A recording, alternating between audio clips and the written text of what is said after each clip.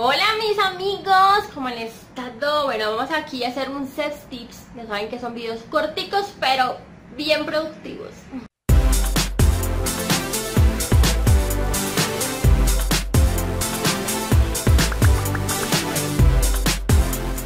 En set tips del día de hoy te quiero enseñar sobre cómo hacer adecuadamente el vacuum con tu boca, ¿sí? La succión. Y es importante que sepas que este tipo de técnica de succiones se pueden hacer en cualquier parte de la zona genital, por ejemplo, en un pene, en la vagina, ¿sí? el labio mayores, labio menores, en el clítoris, en el ano, en el perineo, en los hombres, por ejemplo. Esta técnica es muy chévere y bastante placentera para quien la recibe porque ayuda a que haya una irrigación de sangre instantánea en la zona. Esa succión con esa irrigación empieza a hacer un intercambio en esa presión y lo que hace es que se activan las arterias para producir el óxido nítrico, que rápidamente se va para el cerebro y se empieza a segregar, perdón, se empieza a segregar la dopamina para generar un estado de placer al máximo. Y pues adicional al segregarse la dopamina también se puede incrementar la testosterona en ambos y pues puede ayudar a que se incremente ese deseo y ese placer sexual. Es importante que también tengan pues como cierto cuidado, que lo manejen con calma, que no se vayan a exagerar en la succión porque pueden generar de pronto ya ciertas laceraciones en la zona y hay personas que son muy sensibles, así que mucho cuidado de cómo, de cómo chupan.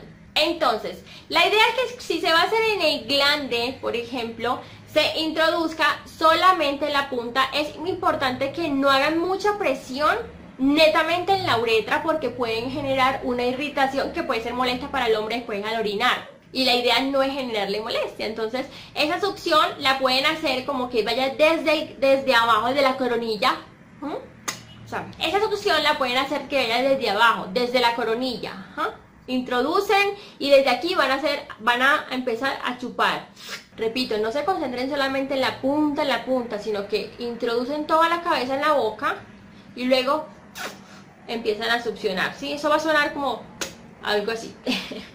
En el perineo ya lo pueden hacer de una forma mm, un poco más fuertecita, ¿sí?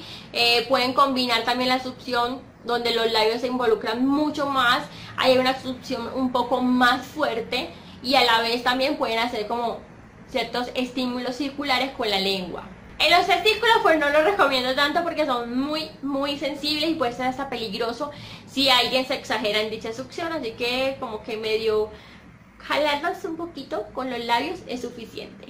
Entonces pueden empezar. Vacuum por aquí.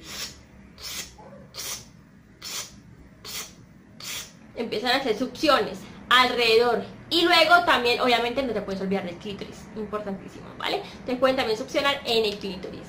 Dicha succión Dicho efecto de vacuum, ustedes ya determinan cuántos segundos lo quieren hacer, pero recuerden que no generen tanta, tanta, tanta presión porque pueden lacerar y lastimar a su pareja, ¿vale? Espero que te haya gustado esos tips del vacuum, la succión, para que obviamente puedas potenciar el placer en tu pareja. Recuerda dejarme tu comentario, seguirme en las redes sociales de Instagram, Facebook y Twitter como arroba Suscríbete si no lo has hecho y activa la campanita, por favor.